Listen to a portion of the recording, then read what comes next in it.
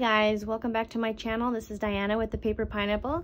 Thanks for joining me today and just want to apologize for being um, Mia these last couple of days. My family actually went on vacation and we went to Washington. So I just got back in yesterday and I'm ready to get my craft on.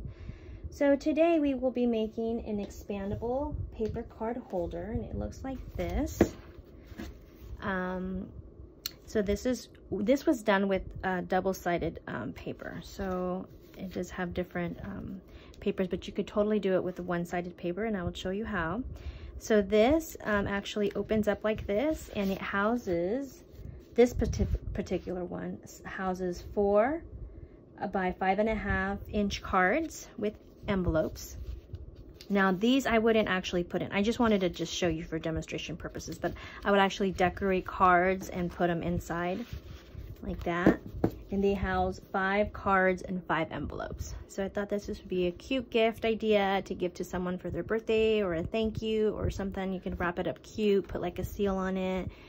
It'd be really nice to give to someone. So I will show you how to do this. We're gonna recreate this. So what you'll need is you'll need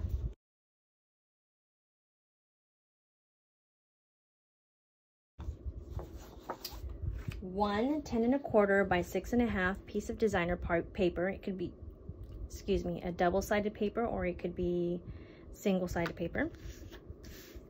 You'll need two four and a half by three for the paper springs. You'll need um, a six and a half by four and five eighths for the front cover and the coordinating paper. Or you could leave it as is. I mean, it depends, you know, how you want your um, card base holder to look. So it could be matching from back to front. And if you are using a single-sided uh, paper like I am today, I will be using, this is optional for one-sided paper, a six and a half by three inch for the inner top piece for the card holder base. So it'll be on the other side that will adhere this piece. So this is extra and optional if you do not have a double-sided paper. For this, these papers actually, I'm using the Key West um, Hot, Hot by Paper Pad from Recollections from Michaels. Um, you can check out my other videos. I did, I do have a haul with me video um, from Michaels and you could see um, that video to see what other paper pads there are available. I know they still have some out and they have a couple new ones out so you might want to check that out. Okay, so I grabbed the two papers from there. I actually grabbed three different designs um, for this. So what you want to do is you want to get your card base. And then we're going to score. I'm going to get my We Are Memory Keepers scoreboard. Put that aside. And make sure that I'm in frame here. And what I like to do is just like to turn it around just because I'm going to be folding it the other way. And I'm going to be taking out my bone folder. Okay, and what we're going to do is we're going to score at four and a half. So, like four and a half, and we score down that gently but firmly. Okay. Get this out of the way.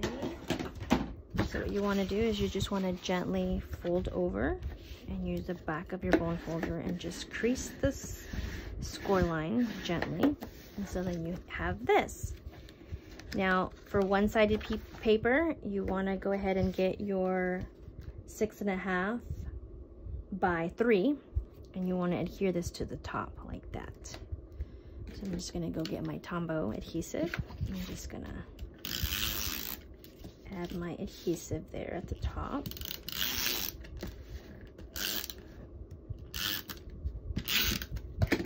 Okay. I want to make sure that I have this all the way to the top and got the sides there and just push down.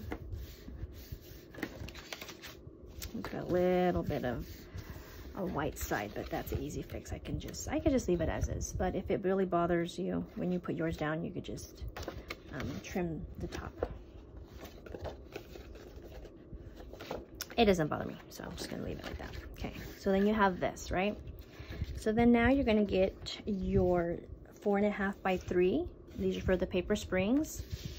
and this is to go right here. So what you want to do is, again, you want to get out your scoreboard again, and you're going to get the pieces out. Actually, I want to turn it around like this.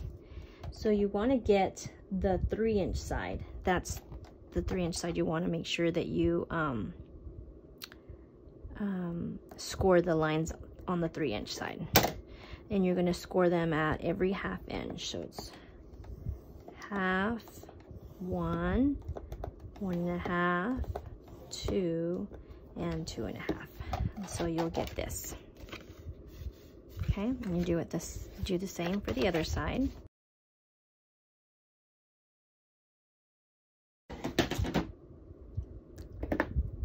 Now for this part right here, all you want to do is just uh, do an accordion fold. So it's one towards you, one away from you, and so on and so forth. And then you'll get this. You want to go ahead and do the same for the other side. Like that. So you got your two springs. So now we're gonna get ready to adhere the springs to the base.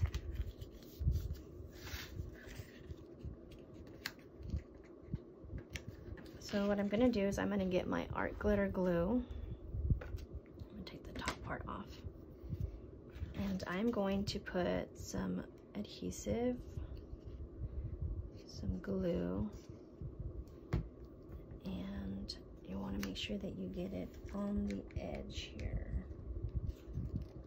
You might have to look on the side to make sure that you get the very edge. So I'm just gonna put it down that way. You don't want to do it exactly at the crease. You want to go a little bit higher so that there's room for it to fold over. Okay, and then I want to gently put some glue on here. You're making a mess here. Okay, so now I got both sides, and so then you could just push the springs down and then fold over the top. Carefully, like so.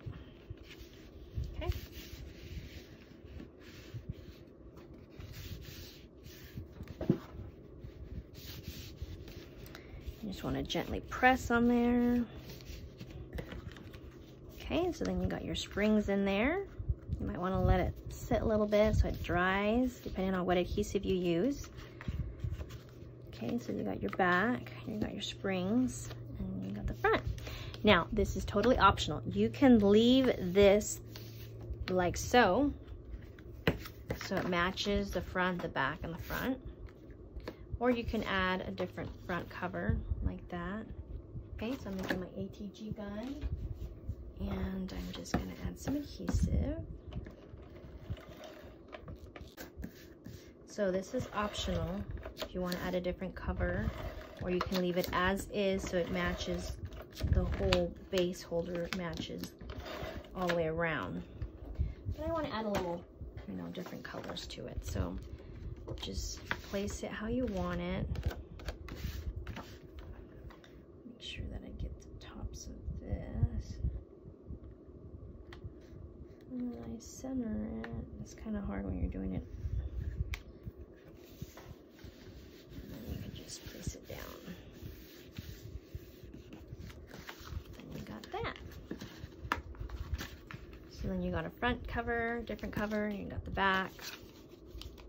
Okay, and I think I might have not gone far enough. So if you do have a little excess, you can just get some scissors and cut the little excess off.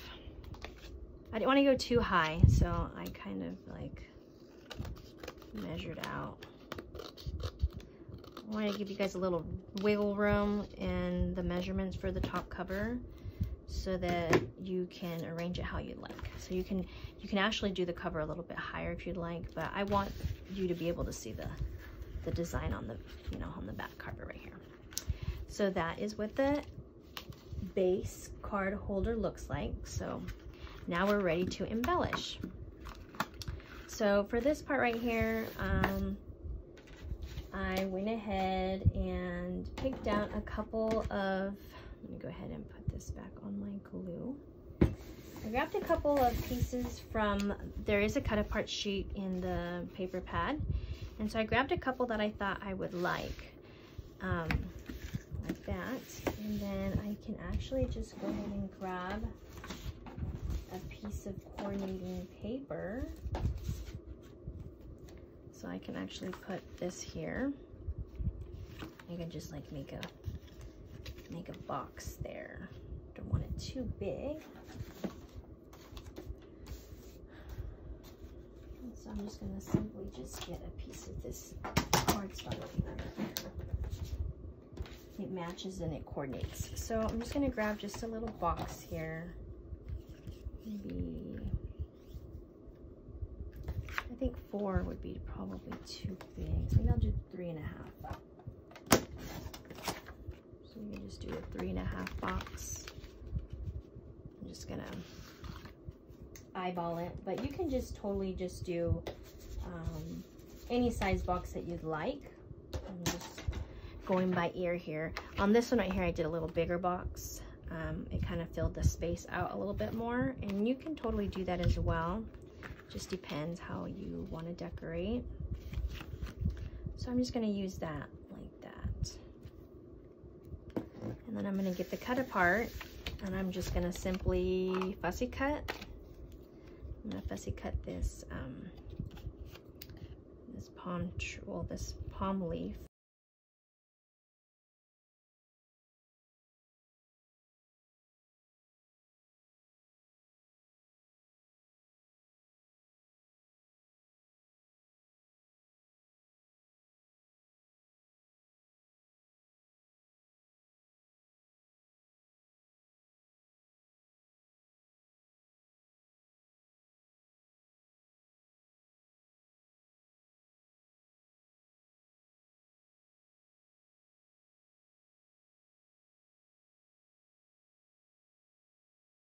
This one too and it says see you at the beach. I feel like it kind of goes with this whole you know flowers and stuff so I'm going to cut around it. So like for example for this I just used the same paper and I just used embellish I embellished my own box with the same paper pad. I didn't add anything else. So I'm just using these cut aparts and I'm going to use them to um, embellish my card holder. So what I'm gonna do is I'm just gonna cut around it because I don't really like the box. Um, I already have a box for the background, so I don't really want another box. So what I'm just gonna do is just gonna fussy cut this out.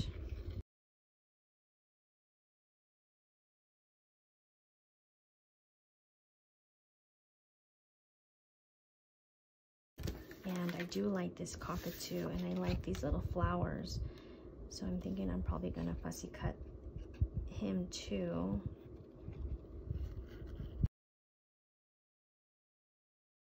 And I'm leaving the pink around it on purpose because I do want him to pop.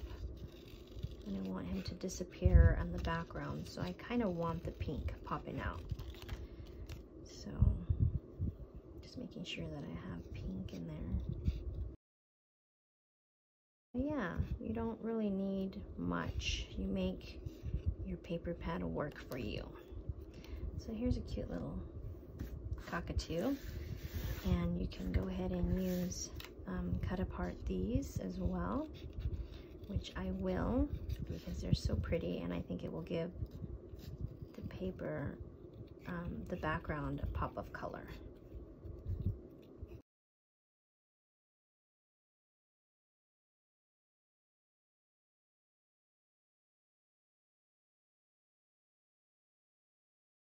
I actually like to make things work with what I have. If I don't have a need to go buy anything, then I usually won't.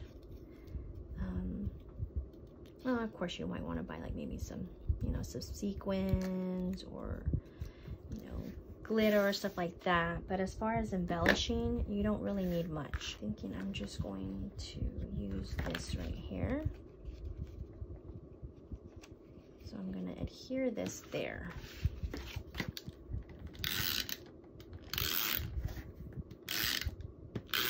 So I do want this flower to come on. I do want this flower to come out. I don't want to cover this pretty flower or this one. So this would be the perfect spot for it. Okay, so I lay down my square or rectangle, whatever you want to call it. and then I want to add this right there. Maybe I want to put it towards the center. I kind of like the fact that it's hanging off the page because I do want to add this. I want to add that like that. So I do want to use, um, the Dollar Tree sells these or the 99 cent store sells these where they're like already cut apart for you. Excuse me. Go ahead and get my scissors that I use for cutting adhesive because I'm going to be cutting out some squares. And I do want to add this behind here like that and I want this to pop up. So what I'm going to do is I'm going to see where I want to add this palm leaf. I did add some adhesive there. So I'm just going to add it like, like so. So I already put adhesive there. And then I'm going to go ahead and maybe add the, I don't know yet how I'm going to do that, but I know for sure that I want to add this here. So maybe I can add this to the side. I don't know how I'm going to add this here. Maybe it might not work for me. Okay, maybe I might not use this here, but I'm going to go ahead and add my pop-up dimensional tape.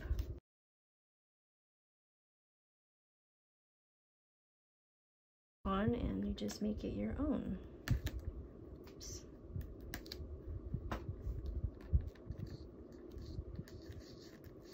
Okay. So I know I want it to the side here. Maybe I want it like that. I'm thinking I'm gonna need adhesive up here. So what I'm going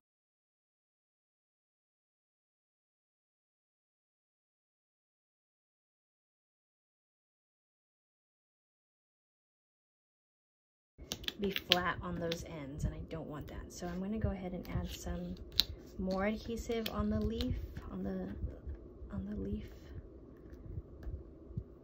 sides out here, outer sides. So I'm to go ahead and add that so that when I do put it on here, it does stick up.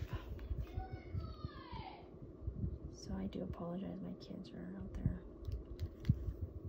fighting and playing video games. Okay, so I like how that looks. Maybe it looks a little busy because of the flower up here, but I think it looks okay since we have a blue background to back that up. Okay, and I do want to add some flowers. You want to definitely want to add some flowers there. Maybe add another flower here. Maybe I could just do like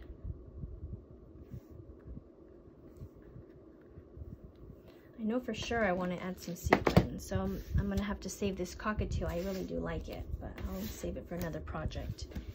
And maybe I'll save, maybe I'll just save, or maybe I could just add it together like that. Maybe just two. I'll save that flower with that cockatoo. I know for sure I want to add some sequins. So I already have a lot of gold in here. So maybe I can add some pink would that look too? I think it blends in too much, so probably not blue. Maybe this fuchsia. This fuchsia color looks pretty. Yes, I think I'm gonna add that fuchsia.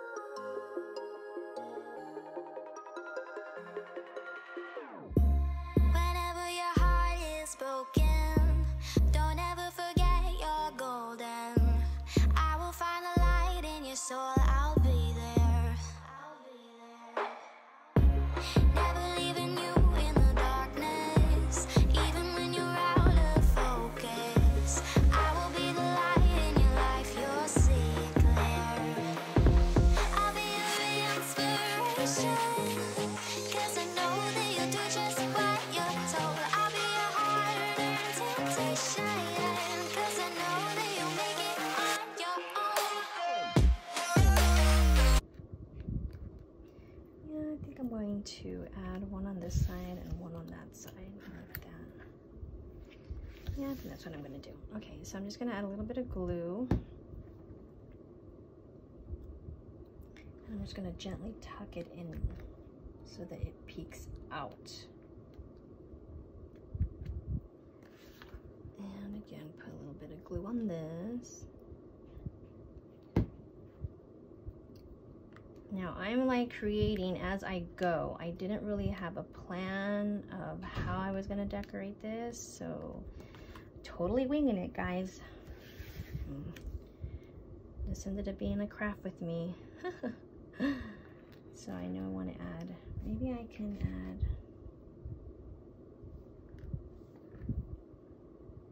gold sequins in the middle. Is that like cute? Or is that like an overkill on gold? These nails of mine kind of hard to craft with. If I do that, does that look cute? I think that looks cute.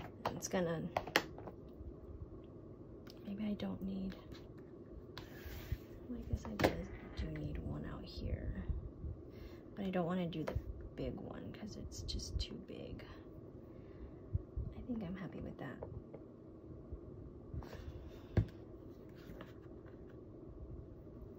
Make sure that the right side is up.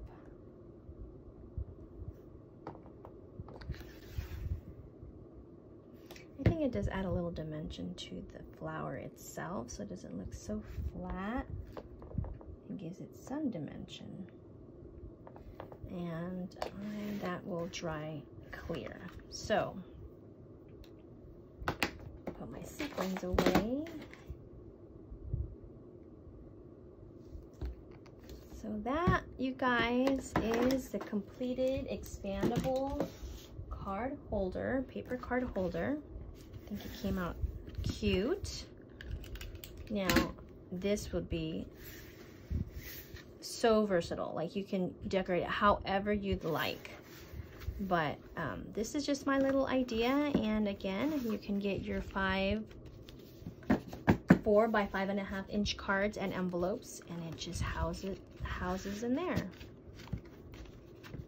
and then you can use this as a gift so these are like two different ideas that I had.